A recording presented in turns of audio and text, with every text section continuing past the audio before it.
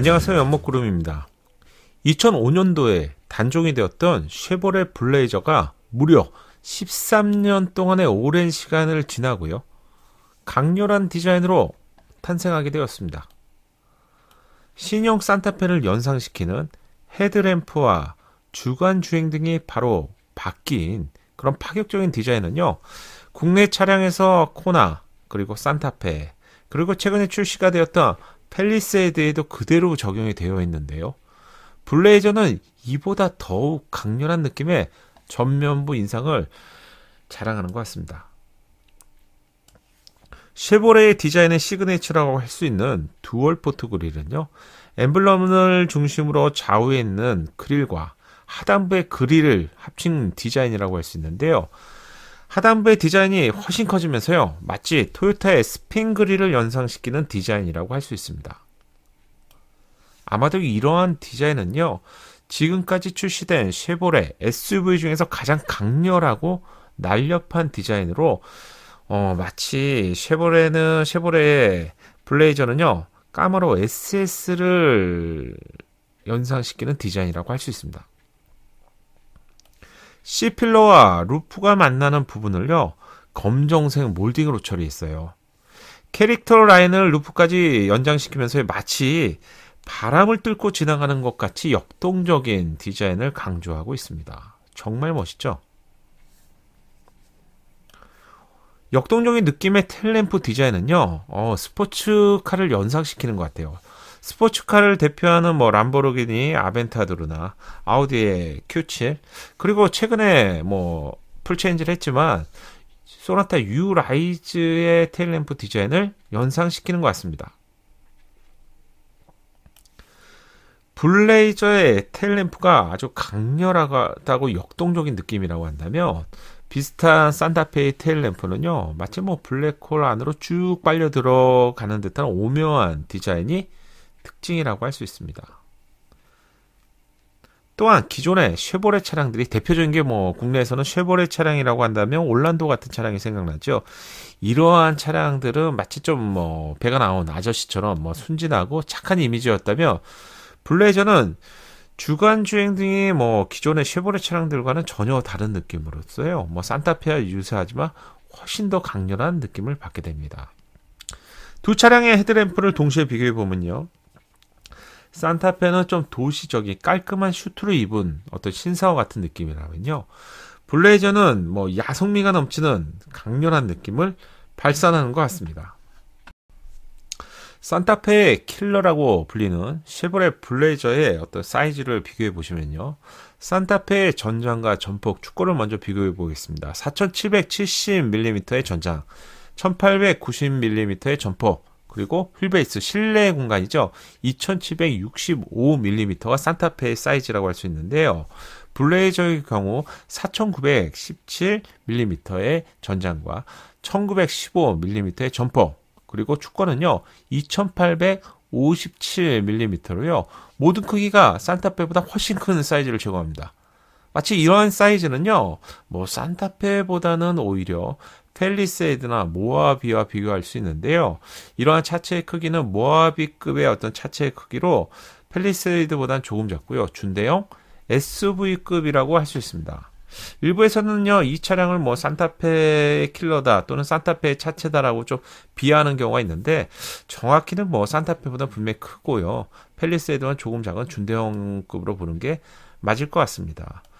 세련되고 정갈한 느낌의 실내 디자인은요, 어, SUV 같은 느낌이 안 들어요. 최근에 출시되는 차량들이 그렇죠. 대표적인 차량이 뭐 제네시스의 실내 공간을 닮은 펠리세이드라고 할 수 있는데요. 바로 이 차량의 실내 공간은 까마로를 닮았습니다. 까마로의 경우 뭐 대표적인 스포츠카 중에 하나인데요. 까마로를 연상시키는 가장 큰 부분은 원형 송풍구인데요. SUV의 원형 송풍구가 적용되었지만 그 모습은 굉장히 멋있다고 할 수 있습니다. 또한 대시보드 중앙을 가로질르는 크롬바가 인상적이라고 할 수 있습니다. 측면부에서 본 실내 디자인은요, 어 까마로와 블레이저가 차이가 거의 없습니다. 지금 먼저 보시는 차량이 까마로의 실내 디자인이고요. 그리고 두 번째 보실 차량이 바로 블레이저의 실내 디자인이에요. 어떻습니까? 상당히 유사하죠. 또한 돌출형 내비게이션 디자인은 대시보드와 잘 어울리는 조화로운 느낌으로요.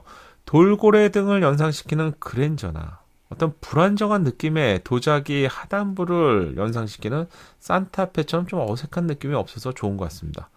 어떻게 보면 디자인의 힘이라고 볼 수 있죠. 먼저 보시면 그랜저 아이지죠. 국내에서 뭐 10만 대를 돌파하는 어떤 10만 대 클럽에도 당연히 들어간 차량이라고 할 수 있는데 어, 디자인의 어색함이라는 부분들은 초기에도 좀 어색했지만 지금 다시 보아도 조금 어색함을 느끼게 되는 것 같습니다.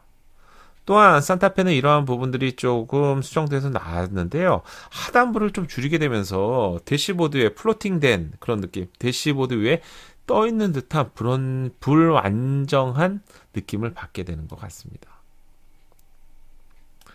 크롬을 감싼 아날로그의 계기판 좀 세련됐죠?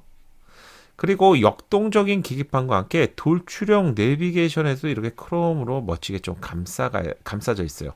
또한 이러한 크롬 디자인은 송풍구에서 찾을 수도 있죠. 삼박자가 잘 맞는 디자인이라고 할 수가 있습니다. 엣지 디자인을 강조한 내비게이션 테두리의 크롬은요, 어, 제가 보기에는 뭐 동일한 어떤 돌출형 디자인의 뭐 그랜저 IG 또는 산타페보다 훨씬 디자인적으로도 세련되었고요. 안정적인 느낌을 받게 된다는 점이 좋은 것 같습니다. 고성능을 강조한 red 색상의 스티치는요, 뭐, 뭐, 쉐보레 차량의 RS 버전, 고성능 RS 버전에서 뭐 자주 볼 수 있는데요. 노브를 포함한 기어박스의 디자인도, 와, 이 정도는 뭐, 세련되었다고 할 수 있을 것 같습니다. 후면부의 트렁크로 들어가 보면요, 어, 대용량 트렁크의 어떤 활용도를 대폭 높인 카고 펜스가 적용되어 있습니다. 여러분 뭐 크기가 크다고 하더라도 사실 뭐 대형 SUV에서도요 많은 짐을 가득 채우는 경우는 뭐 캠핑 같은 그런 어떤 어 여행을 할 때 아니면 짐이 많을 때 빼면은 사실 가득 채우는 경우는 그렇게 많지가 않습니다. 이런 어떤 카고 펜스가 적용이 된다면요. 주행, 주행 중에도 짐이 움직이는 경우를 대폭 줄일 수 있고요. 또 안정적으로 고정할 수 있기 때문에 아, 아, 이 정도의 어떤 옵션들은 사실 국내 제조사들도 사실 제공해 주셨으면 합니다. 이런 옵션이라면 현대 자동차나 기아 자동차가 어떤 옵션질 연구소라는 말을 듣지 않아도 되겠죠. 기업의 이윤도 물론 중요하겠지만 소비자 입장에서 차량을 만들어 주시면 좋겠습니다. 쉐보레 블레이저는요, 미국 시장에서 이미 출시가 되었기 때문에 국내 경우 한국 GM에서 뭐 도입하겠다는 의사를 밝혔지만 언제나 한 발 늦은 공급 정책 때문에 올해 국내 시장에 출시가 될 수 있을지는 아직까지는 뭐 좀 미지수라고 할 수 있습니다. 올해 상반기에 출시가 된다고 뭐 장담했던 트레버스도 뭐 3월 중순이 훨씬 지났지만 현재까지도 출시 일정이 공개가 되지 않았는데요.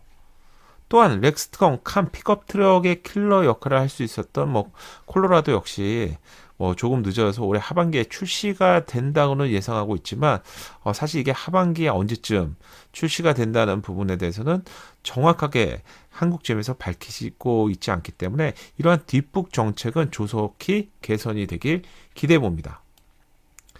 만약 출시가 된다면 블레이저는 이케녹스와 트레버스 중간에 위치하게 되고요. 차량의 크기만 해서는 뭐 산타페보다 조금 큰 차량이면서 또 펠리스보다 작은 준대형급 SUV 영역을 차지하게 될 것 같습니다. 미국에서 판매가 되는 가격은요, 29,950달러로요. 하나로 약 3,400만원 정도라고 할 수 있는데요. 최상의 trim의 경우 한 4,900만원 정도에 판매가 되고 있습니다. 국내 산타페 가격이 2,763만 원부터 4,295만 원으로 조금 뭐 블레이저보다는 좀 저렴하다고 할 수가 있고요. 펠리세이드의 경우 3,475만 원부터 4,408만 원이기 때문에 어, 펠리세이드의 경우 올해 하반기에 인스퍼레이션과 같은 고급 trim이 나올 걸로 예상이 되기 때문에 어, 이 정도의 가격이라면 뭐 미국 가격 기준으로는 충분한 경쟁력을 가지고 있다고 판단됩니다. 하지만 한국 GM이 지금까지 미국의 쉐보레 차량을 출시하면서요, 어, 제가 계산해 보니까 평균 한 20, 20부터 25% 정도 높은 가격으로 출시를 했기 때문에 아마 국내 출시가 된다면 사실 4천만 원 미만으로 힘들고요, 4,200만 원부터 한 6천만 원 초반까지 형성될 수 있다고 예상이 됩니다.